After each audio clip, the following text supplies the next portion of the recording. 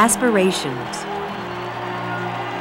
achievement, teamwork, discipline, physical fitness, overcoming obstacles, support, respect. These are just some of the things people think of when they think about the history and excitement of the Olympic Games. For educators, these concepts also have important meaning in the work to help students grow and achieve in safe, healthy, and drug-free ways.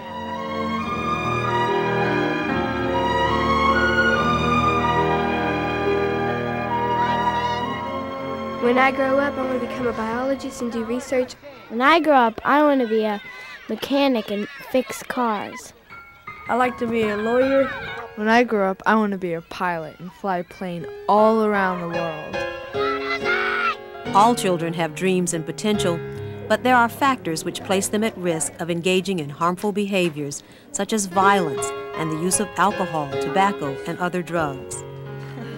With help, children will grow up to live their dreams, guided through challenging circumstances by an inner strength or resiliency fostered by their families, communities, and schools.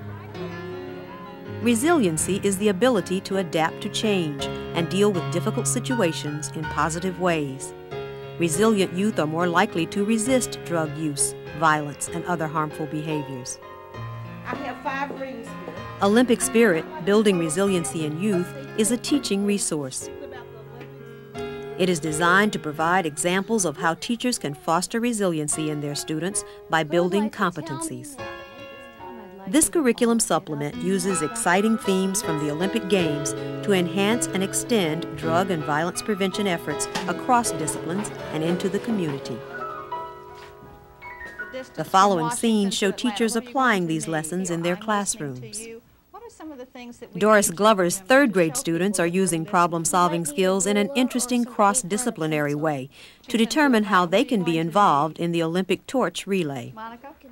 We can multiply. Resilient young people use critical thinking skills and seek alternate solutions to problems. And in talking about the Olympics, as I said, Mr. Lee, has, our PE teacher, has gone out with you and measured off the distance out there for us all to run a mile. He mentioned to you about the torch, right? The Olympic torch, and how when they bring it over, the torch is carried to the next city where the Olympics is going to be. And where is the Olympics going to be in the summer of 96? Atlanta. in Atlanta, Georgia, isn't it? If we were going to help carry that Olympic torch all the way to Atlanta, Georgia, we would have to find out how far we would have to go.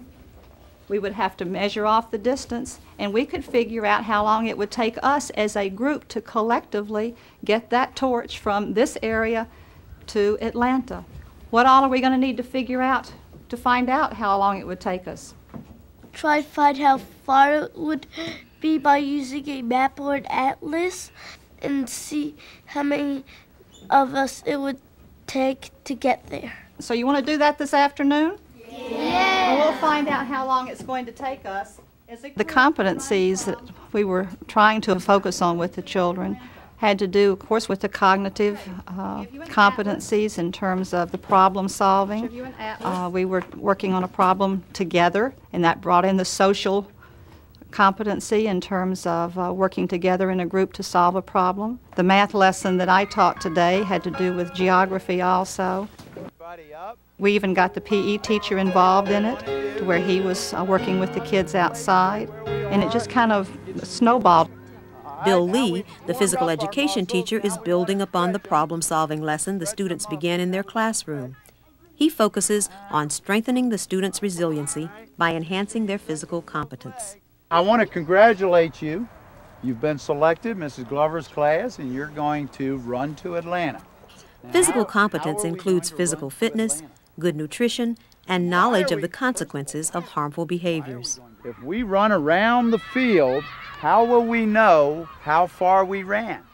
I see the Olympic spirit, building resiliency, as having a lot of opportunities to build physical competencies in our young people and the importance of a healthy body and a healthy lifestyle, uh, eating the right foods and, and getting involved in exercise as an important way to be active out of school and to promote activities that can be long lasting life activities that they can get involved in.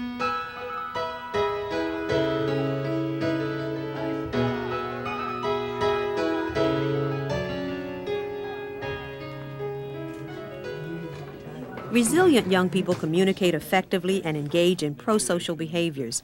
They are caring and compassionate. One, two, three.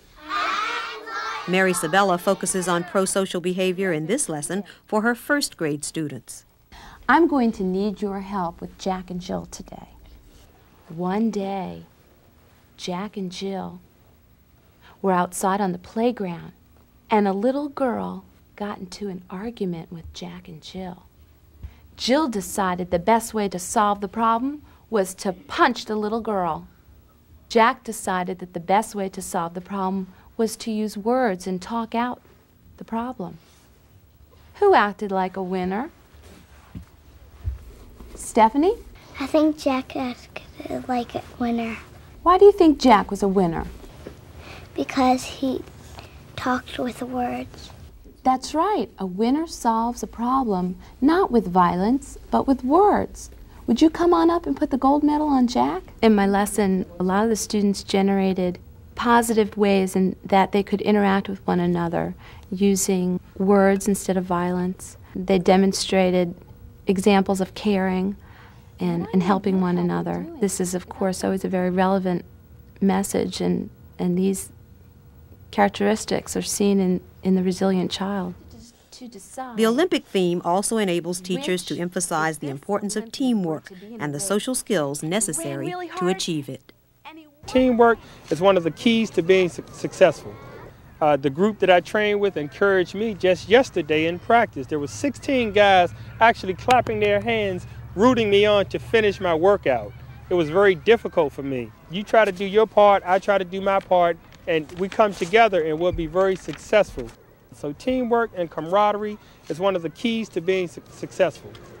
Resilient youth also demonstrate a sense of civic competence, which is the ability to serve as responsible contributing members of society. Civic competence can be strengthened through volunteer service in the community, such as helping build low cost housing or beautifying a neighborhood park with a mural, as well as through programs at school, such as food drives or older students tutoring younger students. Well, work fast, I told him. They are getting more of a sense of community spirit by contributing to their community. When there's a bond between the students and the community, when that is strong, then the students are more likely to adhere to the rules of that community and they have a stronger resistance or resilience to say no to alcohol and drugs Community service efforts not only build civic competence, but can help promote teamwork, cooperation, communication, and problem solving skills. Civic competence also involves developing an appreciation for unique personal and cultural differences. The Olympic athletes assembled from hundreds of nations provide an inspiring example for helping students appreciate common interests and unique differences.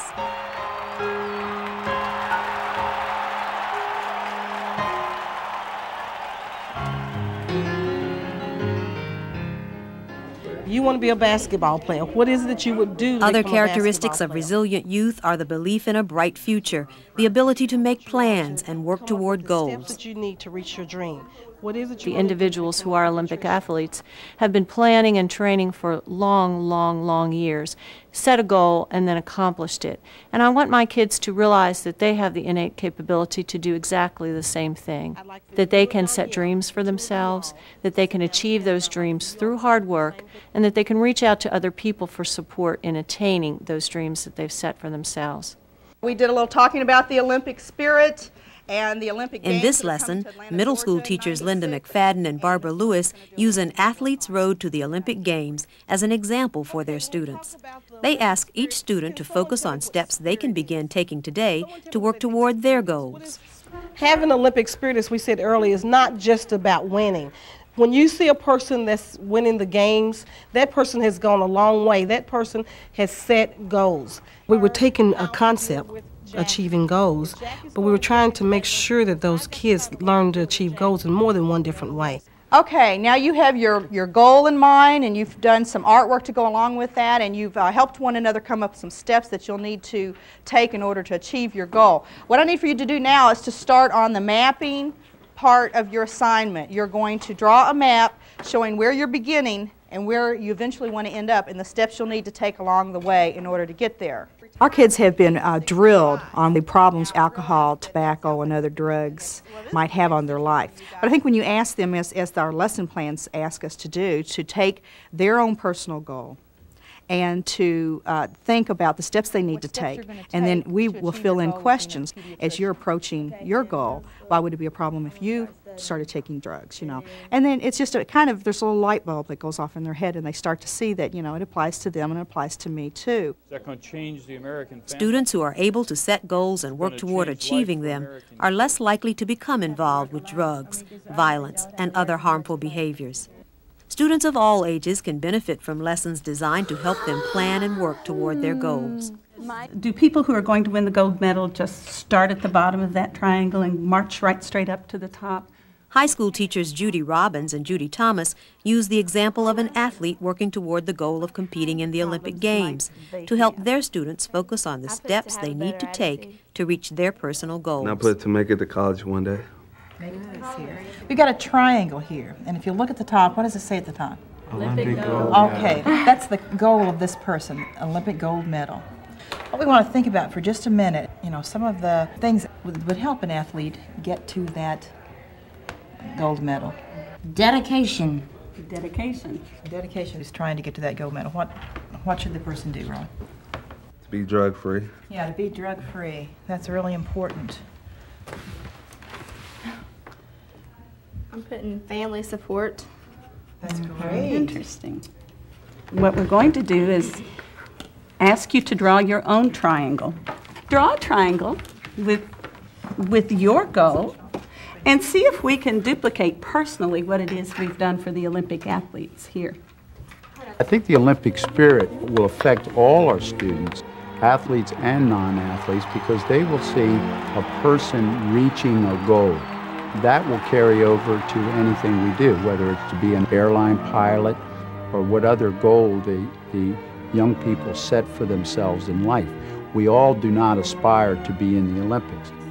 The lessons of the Olympic spirit provide many opportunities to infuse drug and violence prevention into all curriculum areas, as well as engage students, school personnel, and parents in school-wide activities on the topic. Our job then is to help kids make connections between and among the subject matters and interdisciplinary themes like drug prevention, like wellness, like developing a healthy lifestyle, like focusing on the future, like preparing, as the Olympic athletes are doing, for an upcoming challenge, is something that fits in with all the subject areas. Teachers will be able to dovetail activities in science and social studies, computers, in our library, our physical education, art, and music programs that relate directly to uh, this concept and idea of, of resiliency. With all of us working together, it will also bring about a community effort because our PTA is very, very supportive of the, the kinds of things we attempt to do here. And we will end up having activities in the community to support the things that are going on in the school. We know kids learn best when they're immersed in an environment, and we know that they also learn best when we give them metaphors. Wouldn't it be neat if this year we use the school-wide theme of the Olympics to govern a lot of the things that we do? I'm thinking about the school-wide questions that we do for writing practice, the way we decorate our hallways, the competitions we have between teams for good attendance could have an Olympic spirit theme attached to them. And I would like to see gold for the gold banners every place throughout our schools. It would be a great thing for us.